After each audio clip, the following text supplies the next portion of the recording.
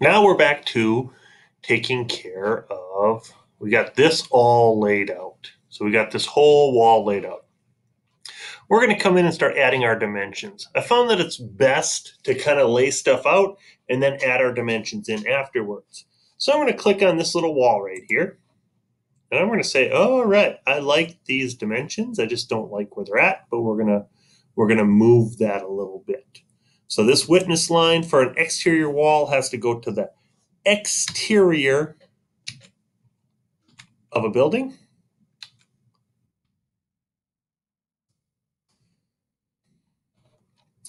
And it's going to go to the center line of an interior wall. And I'm going to place that so it sticks in there. And I'm going to lock it so we can't move that dimension. Now, sometimes you have some extra dimensions over here and they kind of show up automatically. What we want to do is click on Edit Witness Line now. So now this is giving me a witness line from here. If I don't like where this is going, I can just click here. If I don't want this one, I could click that and it takes it out. But I do want that one in. This was my next wall I did. I haven't done this one yet but I did do this one. And I want to catch to the outside. So again, I have to hit tab so it catches to the outside. And that is all of my dimensions on one line, nice and clean and neat. So again, hit dimension, click edit witness line, come to the center, come to the center, come to the center, come to the center, can't or come to the outside edge. When I want to be done, just click off to the side. Now I can see all those little lock buttons. I can lock them all up in one shot. If you click this equals button, it's going to move them all so they're all equal all the way across, and that's going to kind of mess you up. So we don't want to deal with that. Okay? So that's how we work our dimensions that we're going to keep in place there. So if I take a look at this, if I think about this, these walls are four and a half inches thick. So this should be 20 feet, four and a half inches. And it is four feet, four and a half, five feet, four and a half. So those are all making sense. And we are set up to go now. So now comes our height here. We already set this wall's height. We already set this wall's height. This wall we have to set. So I'm going to click this wall. Oh no, it comes up with junky witness lines. Good thing we know how to fix those right away. So I'm going to click Move Witness Line. I'm going to come here. While I'm at it, I'm just going to hit Tab, and I'm going to go to the outside of my witness line there. And I'm going to bring this one to the inside of my wall.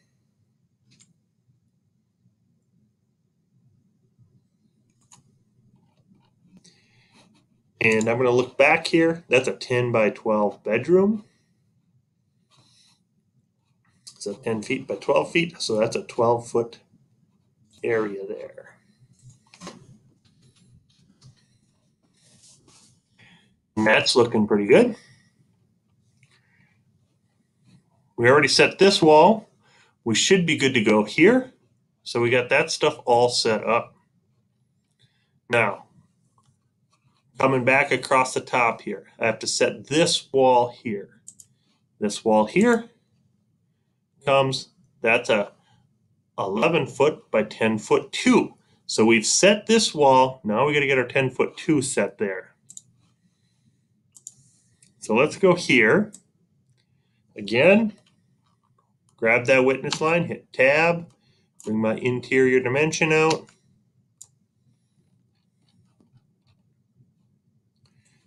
This one, hit tab, bring my interior dimension, and that says eight foot nine and a half. We're to move that wall up 10 feet to enter. Just stretch that wall where we need to go. And that's 11 feet this way. So I'm to go here. Hit tab. Hit tab. 11 feet. We're really not sure where this is going to go at this point. If I look here, I can kind of figure it out that it's 10 foot by 10 foot 2 and 10 foot by 12 foot 2. But I'm not sure if this is added in there or not at this point. So we're going to have to do a little bit of design work to use our space as best as possible with putting in our washer and dryer and figuring out how far this has to stick out plus our door. So we're going to leave that wall at this point undimensioned. Okay? But we do know this wall is dimensioned correctly. So I'm going to place this dimension.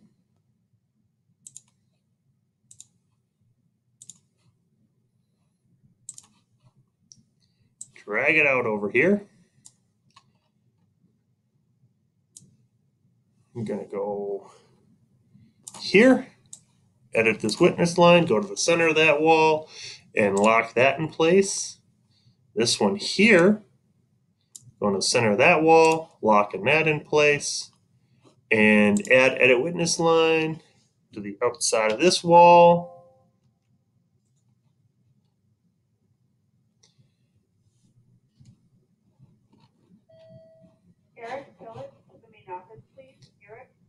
Again. I hit the escape key there and I shouldn't have. Tab to the outside. And click off to the side and lock that in place. So now we got these walls all locked. We don't have this wall in here locked yet, and that's all perfectly fine. We got to figure out our closet distances and our shapes and all that stuff. We don't have this wall locked. We can get this wall locked in place and this wall is automatically locked from being down here. So we know where that is. We're going to hit lock, edit that witness line, hit the tab key, edit this witness line, bring it to the center.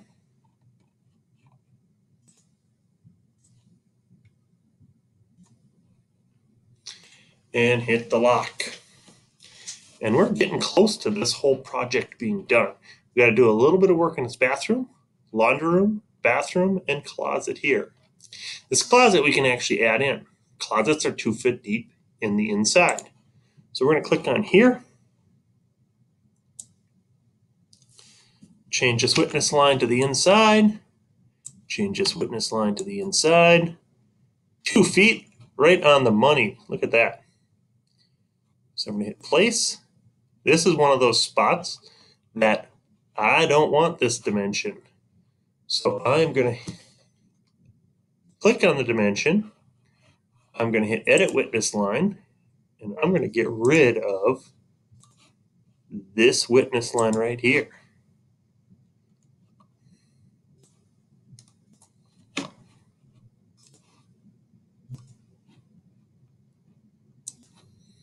And now I just got a two foot wall in here. There. Go there. Lock that in place. Got that wall in. Fireplace we got to figure out. The tub and bathroom here we got to figure out for this height of this wall. But we're getting close to the end of this. When we come back, I'm going to show you how to align these grid lines back up.